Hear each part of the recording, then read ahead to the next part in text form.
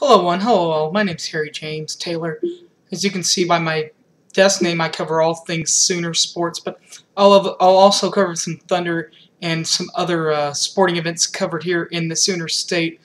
Of course, right now we're going to talk about the finals coming up here in a couple days. LeBron James will be in town, and we'll break down that thing with Dwyane Wade and LeBron James versus Kevin Durant and Russell Westbrook. More to come will be only right here, so keep it locked.